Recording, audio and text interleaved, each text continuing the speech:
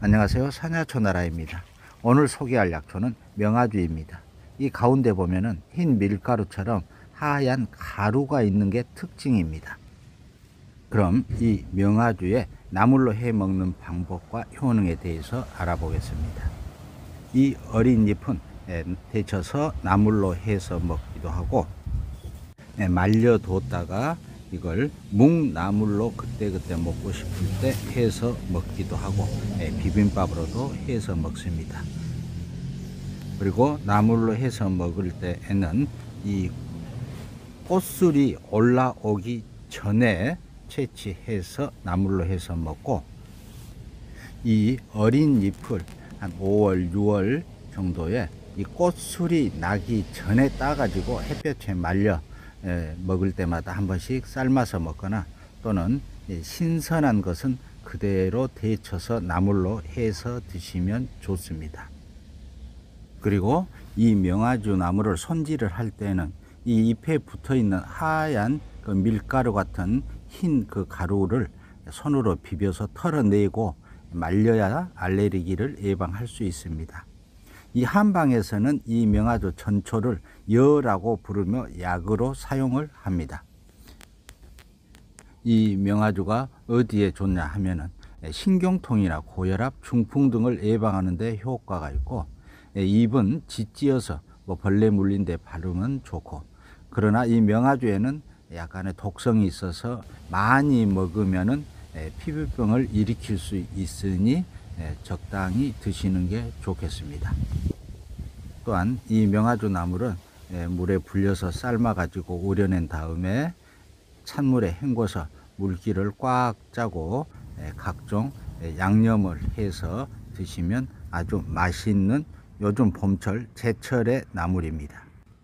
또한 이 명아주는 에, 종류가 잎의 색깔에 따라서 에, 달라지는데 붉은색을 띠고 있는 것을 붉은 명아주라 하고 또 흰색 빛이 도는 흰 명아주도 있습니다. 그런데 에, 같이 사용하면 되겠습니다. 또, 또한 이 명아주는 아주 줄기가 매우 질기고 튼튼해 가지고 옛날부터 에, 지팡이로 사용을 했다고도 하는 이 명아주입니다. 그리고 이 명아주를 채취할 때에는 서두에서도 말씀드렸다시피 예, 꽃술이 올라오기 전에 채취를 하고 이 풀 주로 잎을 먹습니다. 보통 꽃대가 올라오기 전 5, 6월에 채취해서 어린 순만 먹습니다.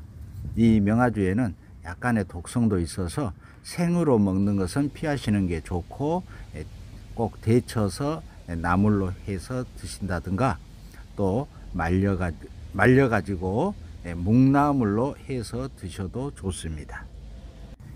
이 명아주를 생으로 먹을 경우에 예, 알레르기 반응을 일으킬 수도 있다고 합니다. 해서 생으로 드시지 마시고 꼭 데쳐서 드시면 좋겠습니다.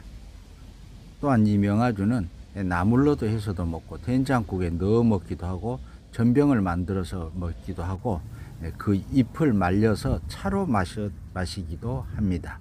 예, 요즘 봄철에 대표적인 예, 나물로서 이 명아주 나물이 아주 맛있는 부드러운 그런 나물입니다.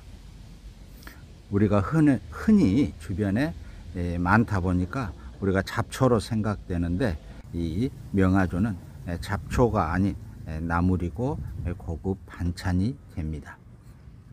그리고 사용 시 주의할 사항은 이 하얀 밀가루 같은 그 이 흰 가루를 꼭 털어내고 예, 사용하시고 예, 약간의 독성이 있기 때문에 너무 많은 양을 한꺼번에 섭취하면은 예, 안 되고 예, 소량으로 드시는 게 좋겠습니다.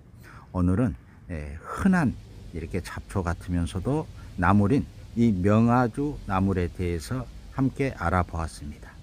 산야초 나라는 다음 영상으로 또 찾아뵙겠습니다. 항상 건강하십시오. 감사합니다.